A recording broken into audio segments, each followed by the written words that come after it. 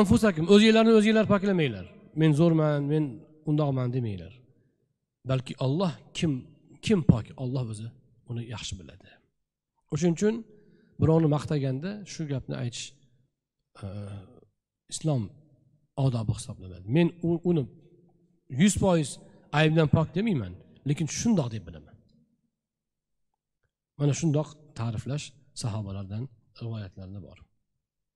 ولا أزكي أحدا. hech kimni men rasuli akram alayhissalotu vassalomning hadislari bu men hech kimni bir yo'la begunoh demayman lekin bilishimcha mana shundoq demak e, hadislarda keladi mana shundoq deb bilaman deb maqtasa bo'ladi